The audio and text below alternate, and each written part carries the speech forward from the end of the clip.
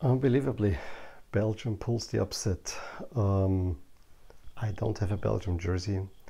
I have a few red jerseys, uh, soccer jerseys, but it just didn't feel right to wear, for instance, an Austria jersey. It's not Belgium.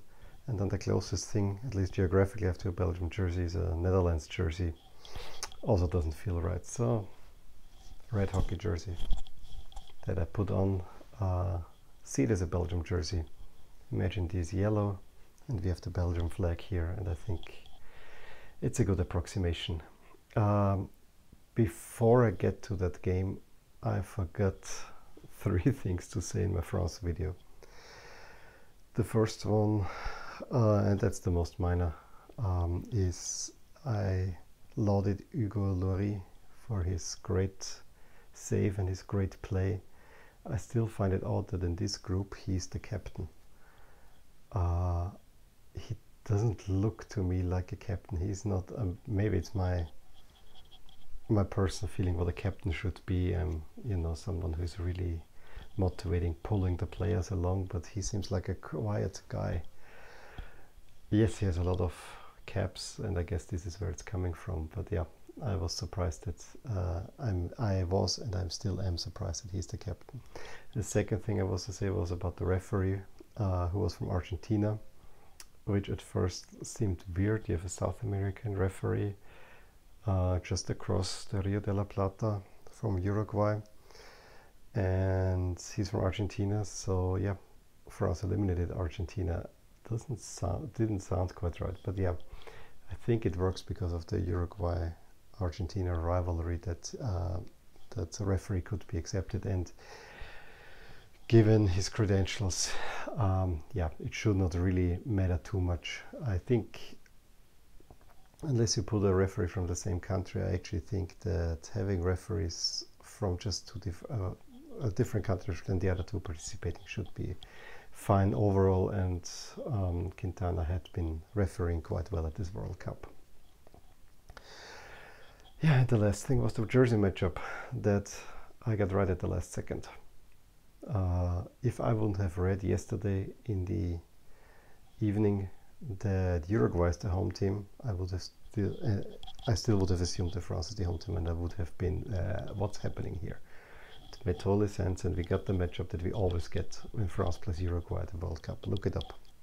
Every game so far, it's Uruguay in the celeste shirts with black pants, and France in white. I think the dark blue would have worked as well. But I think it was a nice contrast. I just uh, don't like the France shirts. If uh, from distance, okay. From a close up, they look like pajamas. There's it's just cloth there with specks. But now, talk too much about France against Belgium. Let's uh, France against. Yeah, I will talk a lot about France against Belgium. Believe me. But now let's talk about uh, Brazil versus Belgium. I've talked enough about France, Uruguay that was an exciting game. And it was a game for the most time on the knife's edge, I had the feeling.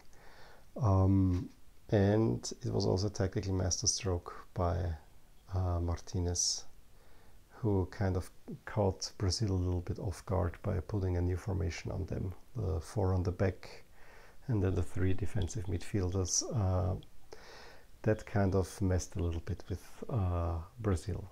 Anyway, Brazil started out firing on all cylinders, and I thought the Belgium defense will be in for a long day. They looked very shaky in the 10 minutes. I think Silva put the ball at the post. Uh, there were a few other chances where, I mean, it was not real chances, but there was a, ball going through, and you always felt it was more with the Brazilian, and there are three Belgian defenders around it and um, just by sheer luck, the Brazilian didn't get the shot in. That was the first 10 minutes. And then suddenly you could see the Belgian counterattack uh, being launched, and it was Fellaini who got in free position, and yeah, the shot was deflected to a corner. And then at this corner, for the first time, the Brazilian defense was shaken, and they made an own goal a little bit out of the blue, I thought. But yeah, it played right into the cards of Belgium. Uh, they were one nothing up, and I thought, yeah, game on. And Brazil came attacking, and Belgium a little bit found their footing there with the lead. Uh, Brazil still was very composed, I felt, which is a good thing. But the Belgians got a little bit a better control of the match and they could launch the counterattacks and they were deadly. This, uh, especially everything running over Hazard and Lukaku, uh, those two players in the first half, Hazard for the entire game, made the game and they made the game of their lives. They were running together with uh, Witsel and Fellaini in the defensive midfield. They made the game of their lives in that one, and it was so they put the physical effort that Belgium had to put in versus uh, the superior technical players from Brazil. This it was an intriguing matchup to watch. And then there's another counter that was all Lukaku, who already deserves so much credit. He hasn't even touched the ball, but for the winning goal against Japan, Lukaku is binding the defenders, and then when he steps dummies over the ball to let uh, Chadli make the uh, winning goal, that's a great move. Absolutely great move. So yeah, they make a second goal on a counter. there were a few counters before where, yeah, the Brazilian defenders kind of blocked off Lukaku. But this presence of Lukaku really messed with the Brazilian defense. They have not faced such a physical striker, physically and somewhat uh, with good technical ability. Uh, I have to be honest, he looks more like a basketball player to me than a soccer player. But yeah, uh, he was crucial and he had many great moves. And the one just ahead, of the goal uh, where he gets two uh, through two Brazilian defenders, goes ahead, passes the ball to De Bruyne, who has a man to his right, but he takes the shot to nothing. And yeah, it's I was not sure is Brazil dead and buried now, or is there still a chance? And the way it was going, I thought Brazil is definitely not out yet. But um, Belgium kept it up, and they probably could have made it three in the first half if they would have made it three, I think Brazil would have been done. But with only two, there was always hope because you could see that with their ability, they could always cause trouble in the Belgian defense. And that was the big knife edge that was going there. I always had the feeling if Brazil gets a quick goal, this match can turn like that. And it didn't. Brazil came out storming. They really put everything on the Belgian defense that they could. And Belgium, you could see tired the more and more it went on. Now there was an appeal for a penalty, um, a foul of um, on um, Gabriel Jesus by Kompany. Yeah, um, the first perspective I thought you could see that Kompany is pulling. He knows that he's sliding into uh, Jesus, so he pulls his foot back, but then you can see there is contact there. Since the referee wasn't given the penalty, I thought it will not be over. This will not be overturned because from what we've seen at the World Cup, um, some experts in the TV seat, of course, said this should have been a penalty, so this they were wrong. At least have the referee look at it. Um, personally, I have to say at that moment I thought and this is totally weird. I really wanted, I would have been fine if Brazil won that game. With everything that the Belgians uh, went in, simply for the fact that I thought that the Brazil-France matchup that could be a real, real firecracker. But uh, but I wanted Brazil to struggle, and I thought if this they make the goal now, um, Belgium will lose three or four two. I I just had that feeling, so uh, that was my personal feeling. Um, as, as I said before, I really want Brazil to really have to work for uh, for something that they're a little bit uh, battle tested. Um, I was a little bit more on the Belgium side, but I would have been happy if Brazil moves on uh, because you never want to lose the most gifted side of the tournament. Uh, and then having a matchup against the other most, most gifted side of the tournament, which was didn't need to exert themselves except for one game, uh, that would have made for a hell of a matchup. But yeah, Belgium held on, and then, yeah, I think there was one where, and I gotta mention Neymar once, who actually overall behaved himself quite well. I gotta say, he even there was um, a penalty claim on him, where I have to give him a lot of credit for once. he did not whine. He maybe said something to the referee, but then he said, "Okay, let's move on. Let's move on. Let's play. Let, us play. This is time that we, we're gonna lose." For that, I give him credit. He didn't even wanna wait until the referee is uh, saying something. No, he said, "Let's keep on going." So Neymar, that was not the problem, and Neymar caused some trouble, but he was kind of isolated to to the left, and um, so Belgium really tried to neutralize him as much as you can neutralize him. Even if he had runs, he always had to come in from the left and uh, through the box. Never got a clear uh, shot in, at least for the first 80 or so minutes. Yeah, and then I thought Belgium, yeah, they launched counter attacks, but you can see how much they exerted themselves. I mean, uh, Hazard kept the game alive. I felt Hazard was one of the two best players on the pitch. Uh, he was everywhere. He was running. He had the ball. He could um, control the game. He could give a little bit relief to Belgium. Uh, Lukaku ran himself into the ground, uh, especially in second half. And you could see when they made a counter attack, it was not with this precision anymore. They, they were absolutely tired, and you could see that they were barely hanging on. They are just it, it, this. It, this was only will, pure will. There was nothing else in the in the Belgium game anymore. This was just will and trying because the bodies didn't want to give it anymore. And Martinez didn't make any exchange until I think the 80th minute, where he wanted to kill off the game with the uh, substitutions a little bit, which I've mentioned. This is something that I would probably change. That if you haven't made a chain ex, uh, substitution until the 80th, you shouldn't be allowed to do that anymore. But I digress. So just at the moment when I thought Belgium has this in the bag, that Brazil is kind of dejected that they cannot get anything going, Renato Augusto scores. It came out of, out of nowhere and gave Brazil life again. And now with one goal down, if they make the 2-2, Brazil goes on. I'm absolutely convinced. They might even win it in regulation. It was similar to the um, Belgium against um, Japan matchup. Just uh, the opposite. I think if Brazil would have gotten the equalizer, um, at least in overtime, I think Belgium had not much left in them. Uh, they would have won at the latest in overtime, if not already in regulation. But they didn't. Courtois pulled out a few saves during the entire match and kept Belgium in the game, so he was the other hero of that game. And the big save was the one against Neymar towards the end when Neymar finally got a free shot and this would have curled at worst at the crossbar, but I think this would have curled in and he touches it. And yeah, there goes Brazil. Uh, as I said, I'm partly sad that I think a Brazil-France matchup is always something special. But a France-Belgium matchup is not that shabby either. But yeah, so there I'm a little bit sad. I'm also sad to lose kind of the most talented side. On the other side, it's again uh, typical Brazilian fans, you could see in the stands, they're all, yeah, we're gonna win the sixth cup. We have already the trophy and so on. Whereas the Belgian ones have the uh, the trophy with uh, form of beer instead of the uh, world or the globe. So, and then you can see the poor frustration in their eyes. I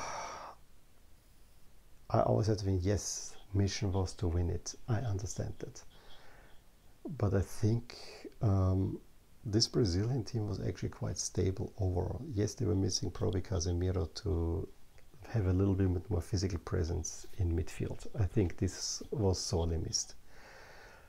But that was probably the real the, the only real problem for, for Brazil. The rest, they played well. They have consolidated.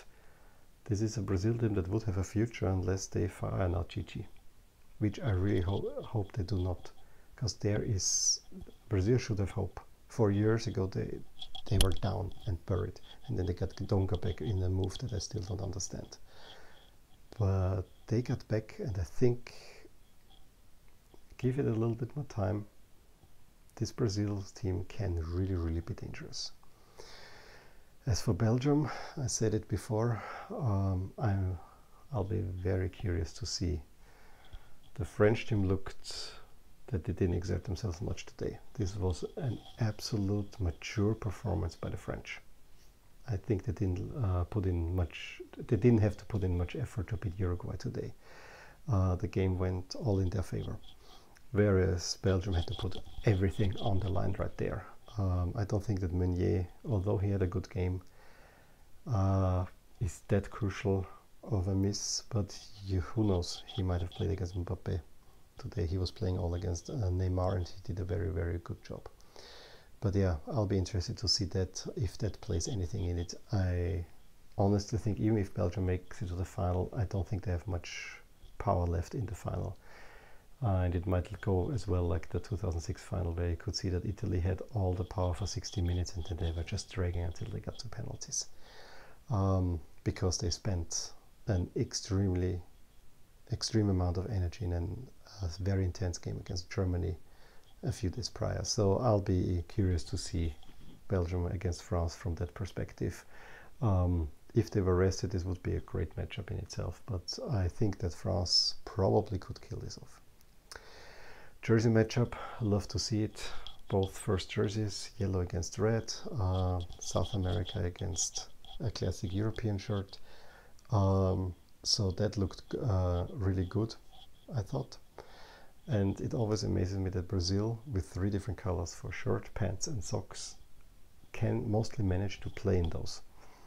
Where other teams like France that play in three different usually cannot. Just something to interest. So, and to finish this off, let's do the honors. Brazil. My first Brazil shirt. And this was probably, I think this is my third soccer shirt ever. And also my second national team shirt. I bought it after the 94 World Cup. Now this is not the original Umbro, as it will be easy to uh, say it's Tro standing for Trophy, which was an Austrian brand that made replicas of replicas. Um, so therefore it's not the original, but it's actually quite close. It has the Brazil on the back. I really would like to get the original, but it still has the printing. It looked very close to that, but not the one thing, and that's why I thought it was always special at the World Cup. In 94, Brazil was a three-time world champion, so they have three CBF crests with the three stars on front. But here I got the four stars already, and that was what I wanted to get back then. Yes, it's not the original. I still like to wear that one. It has bright colors and it wears well. Of course, I want to get the original Umbro. And then other Brazil shirt, just because this was never the original. I needed to get a new one, and it seemed like the perfect time was the World Cup 2014. I really wanted to get the one for the Confederations Cup in 2013. That was a perfect Brazil shirt with a nice collar and so on. But this one's also nice. I even got used to the Y color that they have here. It looks like a classic Brazil shirt. I want to have a Brazil shirt, a nice color uh, with the green, everything else in blue, and then the sleeve cuffs also in green. I think they did a very good job here. We have an enlarged Brazil crest. The Brazil is missing here, was missing for the World Cup, and also like the bird of paradise, right in the, or the canary bird, I think it is. I actually really like this shirt. Um, and that was also a shirt where I looked at both the authentic and the replica and I decided for the replica because it's nicer to wear. The authentic uh, with all the holes, it was a very tight fit, it just didn't look right on me. Uh, and I like this one, this is more like a regular shirt. So I have a few authentic player jerseys, but the Nike one that was so tight fitting, it's just not for me. I still prefer them to be loose. yeah And little did I know that they will lose in this was 7-1 to Germany. I still wear it. Well, let me know what you thought about this game. I think it was one of the most intriguing games. Not the best, but it was one of the most intriguing. It kept me on the edge for the entire game. And I hope it did the same for you. Let me know in the comments what you thought about it and I will talk to you soon. If you enjoyed this video, please hit like and subscribe to my channel. If you've already done so, I would like to thank you for your support. It is very much appreciated. Also, check out the accompanying blog at the link provided in the description below and at the end of this video. Thank you for watching and until next time.